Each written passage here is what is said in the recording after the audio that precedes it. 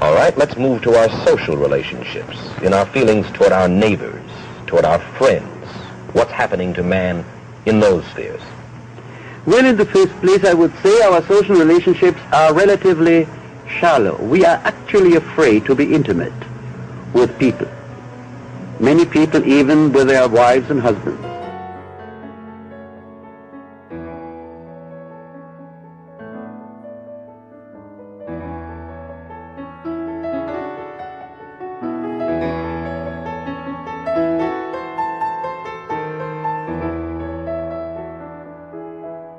Somebody said, Jacque, don't you believe in love? Everybody used that word. So I asked most people, do you like everything you've ever done in life? The answer is no. And sometimes you love yourself, sometimes more, sometimes less, sometimes what a dumb thing I did. Do you understand? Love is a fluctuating thing. It's not fixed.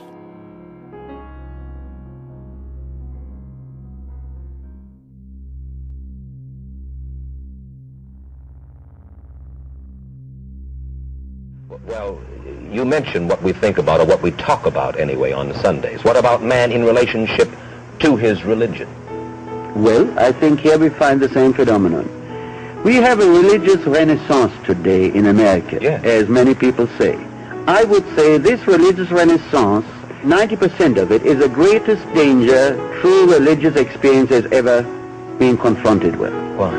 Because uh, what is attempted in this so-called religious renaissance is kind of a mixture between uh, Dale Carnegie, how to win friends and be successful, and the norms of the Bible, of the Old and the New Testament, and in a kind of clever and sometimes not so clever way. People try to combine the two. Well, that is actually very much the contrary of the spirit of our true religious tradition.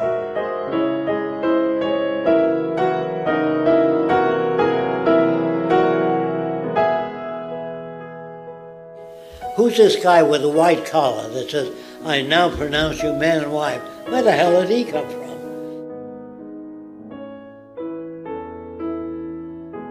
In the Bible says, two people joined by love cannot be put asunder by anyone. This guy doesn't bring people together. He orders you together. And real love is not force. Real love is you being with the person you want to be with.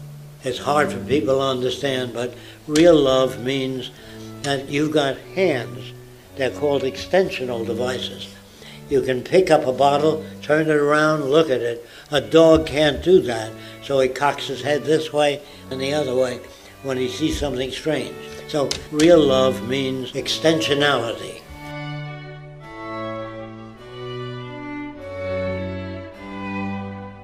I hope my boyfriend loves me.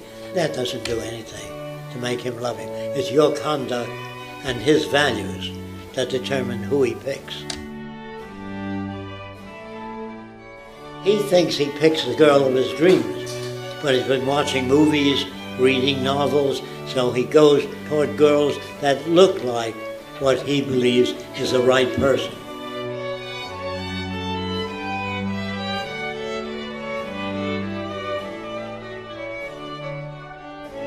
If they show a person with a crooked nose, mean, always mean, and the good looking guy beats him up, see, the girls look for the good looking guy. But that good looking guy becomes a monster if she hates him. That face is no longer pleasant.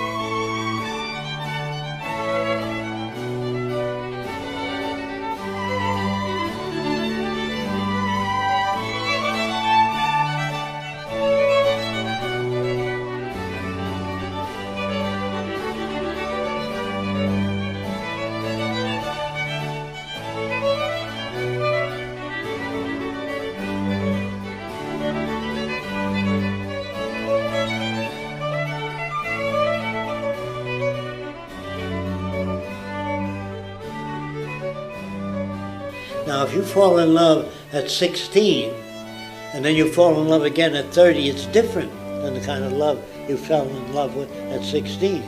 At 40, you have a very different picture of what you want. So love is not a constant. The trouble with it is, in the future, now you can't help this. You will love anybody you meet. If you married a guy because he has seven qualities you love, and then you meet another guy with 40 qualities you love, you're going to love that person. You're going to get confused. What is, do I really love my husband or don't I? Sometimes you do, sometimes you don't. There's nothing wrong with them. They're reflecting their culture. Do you understand what I'm saying? There's nothing wrong with anybody. I'm trying to tell you something else. We never make a mistake in our lives. When you don't know enough about human behavior, you go out with the wrong people and they hurt you. That's not a mistake. You're using the best tools you have. When you fall in love with the wrong girl or you fall in love with the wrong guy, your value systems become updated or you become bitter. So I'm never getting married, depending on your experience. So in the future, you will love anyone that's lovable. You understand what I'm saying? There's not a thing you can do about it.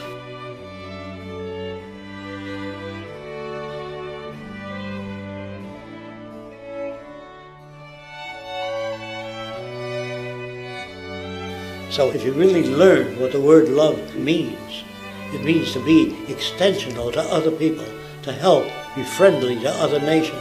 If they lack resources, help them. Help them develop their resources.